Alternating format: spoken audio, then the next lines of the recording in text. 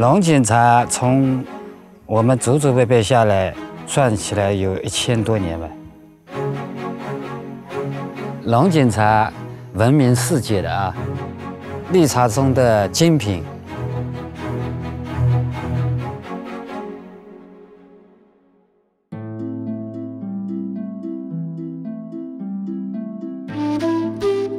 我叫樊生华，今年五十八岁。我从事的主要是炒制西湖龙井茶的。我们这个村桐湖村啊，做茶呢最起码有四百多年。龙井茶种植环境它最适应是，呃，丘陵地带，雨水充沛。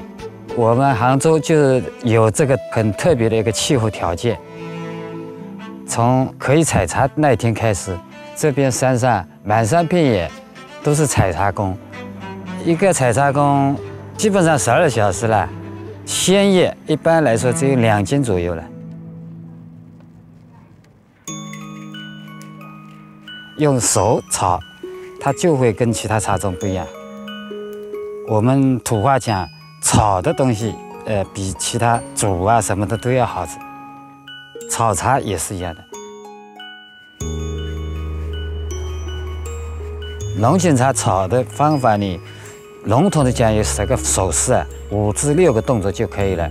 通过搭、码、抖、啊磨、推，从我有记忆开始啊，是从我爷爷传给我爸爸，我爸爸传到我手上。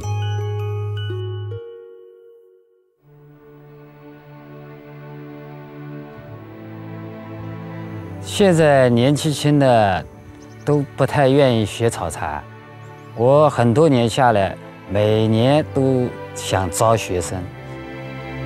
我们家长父母，呃，都想叫小孩子能够考一个好的大学。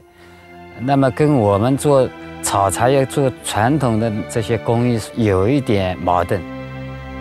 啊，我们希望呢，把这个技艺啊传授越多越好，特别是年纪轻的啊。不想让这个手艺啊，在我们这一代人流失掉。